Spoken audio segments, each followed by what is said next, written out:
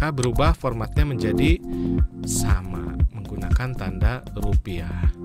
Udah ya. Nah, yang jumlah ini belum nih, kita blok juga sama.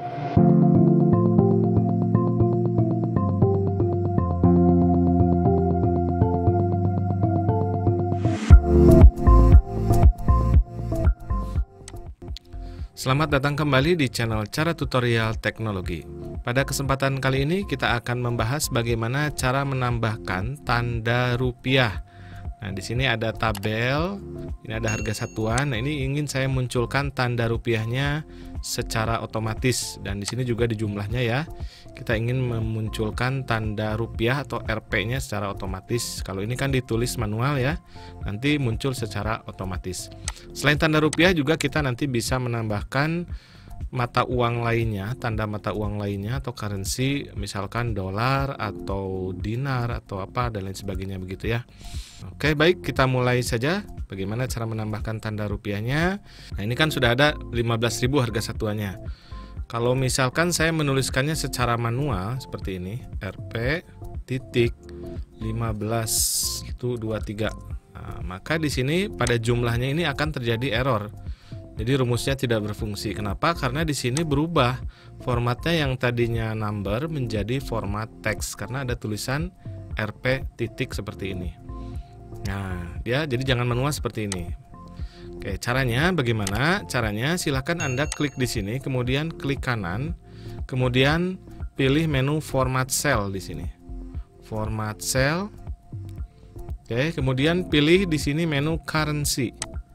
Yang ini Kemudian di simbolnya silakan Anda pilih. Nah, kemudian di simbolnya silakan Anda pilih.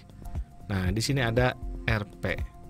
Jadi banyak ya satuan e, mata uang lainnya seperti ini nih, Armenian, Azerbaijan dari A sampai apa ini? Sampai Z ada ya. Oke, misalkan saya ingin tanda rupiah, Rp seperti ini, kemudian klik OK. Maka di sini sudah muncul tanda Rp 15.000. Nah, kemudian kita coba masuk lagi ke yang tadi ya. Format cell. Nah, di sini ada decimal place. Biasanya kalau dalam penulisan mata uang ada desimal dua desimal ya.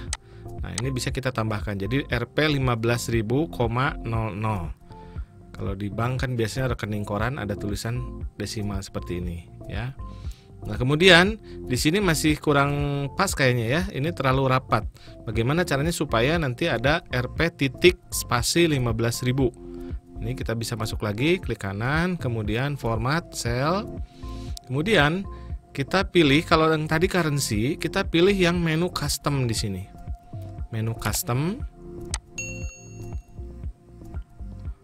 Kemudian di sini ada pilihan berbagai macam pilihan ya penulisan RP-nya mau seperti apa. Nah, di sini saya tinggal pilih aja silahkan salah satu. Kemudian di sini di tipe ini ini bisa kita ganti, kita rubah. Saya klik di sini, kemudian saya kasih tanda titik, kemudian spasi. Kemudian klik OK. Maka sekarang tanda rupiahnya berganti ya. Jadi RP titik spasi 15.000,00 rupiah. Seperti itu ya. Selanjutnya ini sama tinggal di blok saja semuanya. Klik kanan, kemudian format cell, kemudian pilih custom. Nah, yang rupiahnya yang ini nih, yang ini. Kemudian tadi kita klik di sini titik spasi. Oke, maka berubah formatnya menjadi sama menggunakan tanda rupiah. Udah ya. Nah, yang jumlah ini belum nih, kita blok juga sama. Nah, termasuk di sini juga sebenarnya ada tandanya nih. Di menu sini kita tinggal pilih saja currency. Nah, seperti ini. Hanya masih standar tadi ya. RP-nya masih tanpa titik dan tanpa spasi. Kita tinggal klik kanan, kemudian format cell, kemudian pilih yang custom. Ininya number ya. Pilih yang custom. Kemudian di RP-nya ini kita klik titik spasi kemudian tekan tombol OK. Selesai. Mudah ya bagaimana cara menambahkan tanda rupiah di Microsoft Excel. Semoga bermanfaat. Jangan lupa untuk subscribe, share, like, dan komen jika ada pertanyaan. Sampai jumpa pada video berikutnya. Terima kasih.